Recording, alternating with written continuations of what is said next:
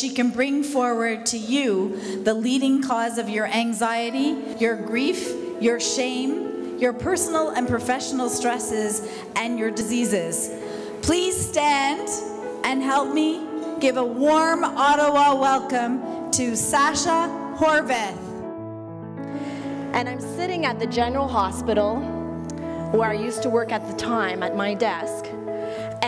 I was seeing these two people coming out of the elevator. One was a man on crutches, physically challenged, and the other one was a woman, uh, professionally dressed, head high, walking fast with a briefcase in her hands. Now, when I looked at the man, to my amazement, I saw this big bright light radiating through the center of his body. And then I looked to my right and saw the woman too had this light, but hers was very dim. Now, I had never seen this before, or have ever seen this afterwards. And I don't know why this was happening to me that day. But one thing's for sure, it changed me forever. So afterwards, I decided that I wanted to understand what the hell had just happened.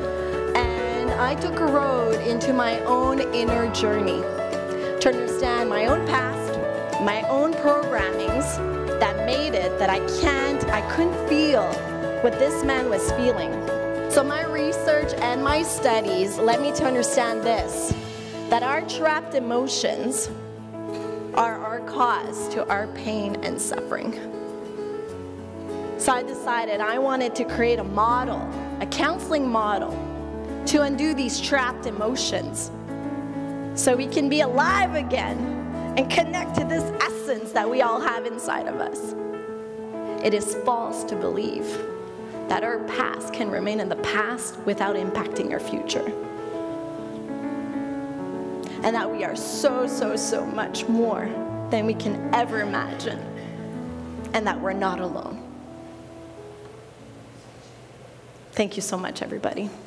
Thank you.